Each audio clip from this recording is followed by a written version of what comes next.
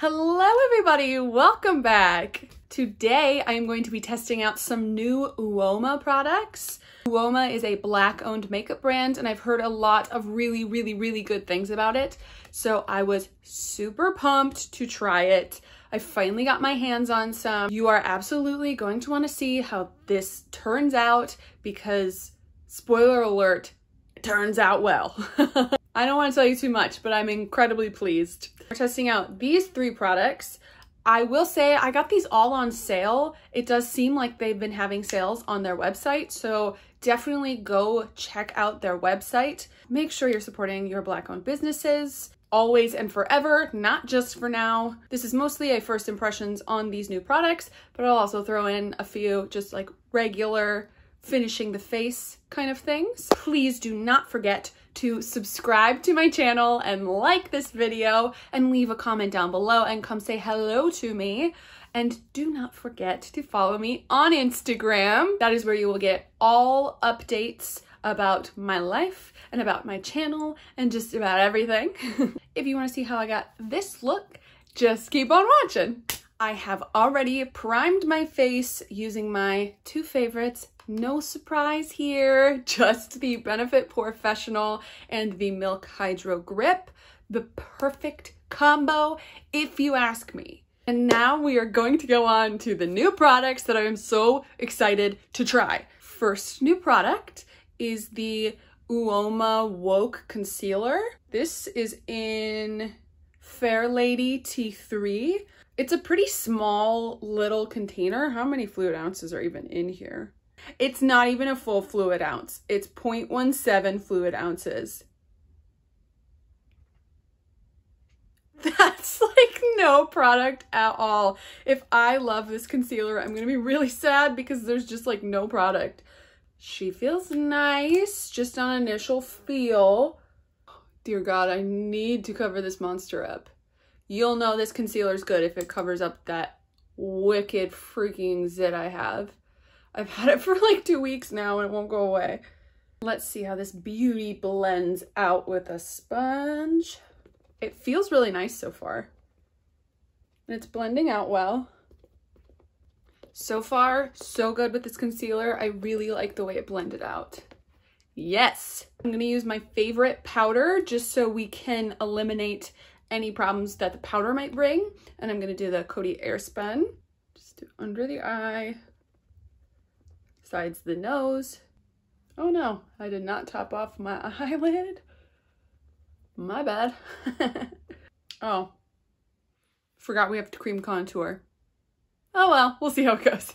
Since we're talking about cream contouring, we are going to go right into the Uoma Contour and Highlight Stick. I'm really, really excited about this. I've heard a lot of people say they really, really love it. And as you know, if you've seen my other videos in the recent past, I have recently gotten really into cream contouring. I'm not a complete professional yet, but I really love it. I've swatched it and it looks freaking beautiful. This is the Double Take Sculpt and Strobe Duo Stick in Fair Lady 3.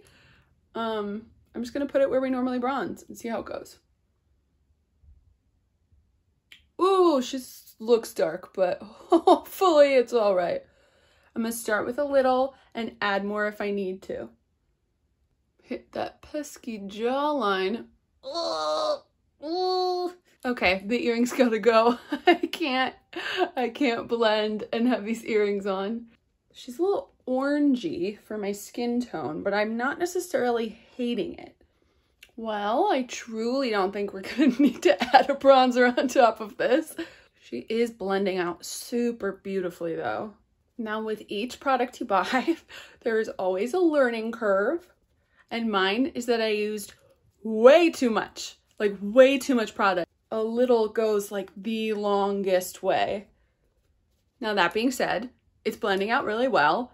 And once it's cleaned up, I think it's gonna look really nice. I'm gonna put some concealer right underneath the contour, pull it down just a little bit. This will also give us a little bit of coverage down there, which is always nice. Okay, so what I'm going to do for the nose is I just wiped off all of the powder and the concealer from the nose, and I'm gonna kind of start all over again. So I'm gonna take the contouring stick, put it where I want. Again, you really, just really don't need a lot. I just put way too much on. Hopefully we can counteract it a little bit by then putting the concealer down the nose. And I'm even gonna put it underneath it a little bit. And then I'll blend this all out and then we'll powder it again just to really set it in place um, so that we shouldn't get any gross powder and cream mixture stuff because that's not cute. So next I'm going to go to the highlight. This is a really beautiful like goldy highlight and hopefully it's not too dark for my skin like the contour was. But I'm just gonna put it on the highlights of the face. Probably blend it out with my finger. So far, it is really beautiful. It's not as beaming as I usually go for, but I honestly think it's because I just bought the wrong color stick. I feel like if I would have gone for the number two instead of the number three, it would have been like the perfect colors. And this contour maybe wouldn't look so orangey and this highlight would maybe be a little more beaming on my skin tone. But I still really like it. It still really works for me and the product itself is so, so good. I'll even see, since we did powder our nose, how it looks going down the nose. Maybe the highlight will play well with some powder. And honestly, it does. It does play pretty well. Good for you, little highlight. You did it. Okay, I just popped on a natural looking brow. We are all done with this little contour stick. It's so good. The formula itself, I think, is probably like one of the creamiest I've used. I think it blended out probably the easiest out of all of the cream contours I've used so far. Um, the highlight's really beautiful. Make sure you get your right color because I definitely need to go down a shade, but I love it. Uoma is bomb. And this concealer, so good. Like that finish, ooh. I can't wait to try the last product. I'm impressed so far. I'm just gonna put on some blush. I'm gonna use this Beauty Bakerie little Neapolitan bar and I'm just gonna use that bright pink and just give us a little bit of color. Mixing powders and creams can be a little bit tricky, so I just like to pat on the blush when I'm doing that. And I am gonna stick this uh, blush shade in my crease. Just give my crease a little bit of color as well. And then just to kind of make them blend together a little bit better, I'm gonna just take my sponge, try to find like a clean section of it. I'm gonna kind of pat over the cheek. We've got some pinkiness going on, uh, so I am going to just heighten that with this Marbled Metals in Entwine from Ciate London. I'm just gonna stick my finger in that, pat it on my eye.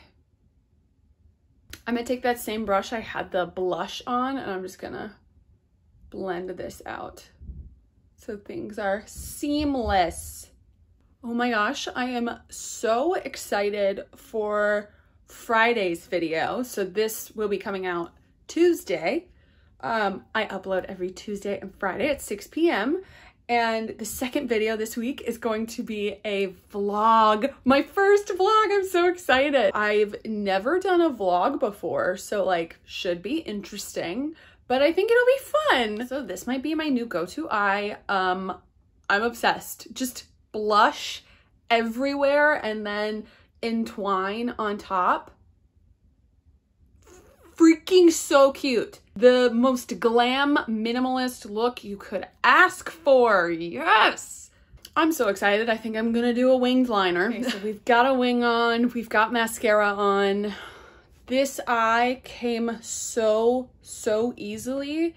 This eye, I had to take off like three times. So it's got a little bit of like black smearing on like the outer corner, which honestly kind of looks like I smoked it out a little bit, but I don't have it over here, so it looks a little lopsided. But honestly, this look doesn't have to be perfect. I'm not going anywhere today. But just know that if you struggle with winged eyeliner, you are not alone. I've been doing my makeup for a very long time. I have a freaking YouTube channel on it. I feel like I can speak on being able to apply makeup and I still struggle with a wing. So like, don't feel bad.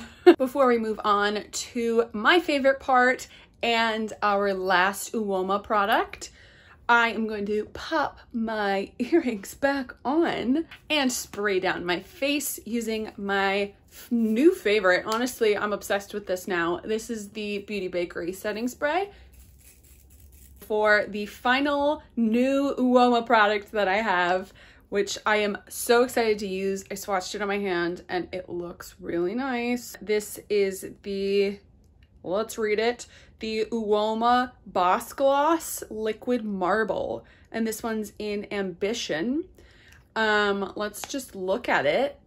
Um, does that not scream my name? Because it does.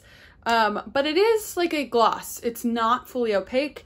And you know, I love a fully opaque lip. So I'm gonna put a liner underneath it and then we're gonna put this on. I'm just going to use this ColourPop Lippie Pencil in, in something. What's it in? Oh, 951. Ugh, and I just think ColourPop's Lippie pencils are incredible. Now that we've got the lip pencil down, I'm gonna top it off with this beautiful Uoma. I also love, love, love the packaging. This like steel blue. yes, please. Oh boy. Ah! It's so beautiful.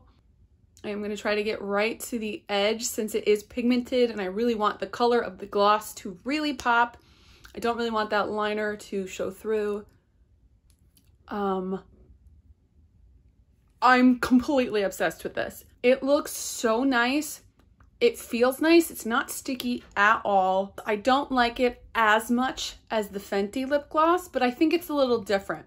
Like it just feels more like a mixture between a gloss and a liquid lip rather than just a gloss. But I would say if I'm reaching towards a gloss specific look, I would probably reach for the Fenty Beauty, but I will absolutely be using this again. Probably this combo. I think this combo like just looks really good together. Honestly, once I put that contour on, I wasn't sure how it was gonna go, but it really, really came together for us.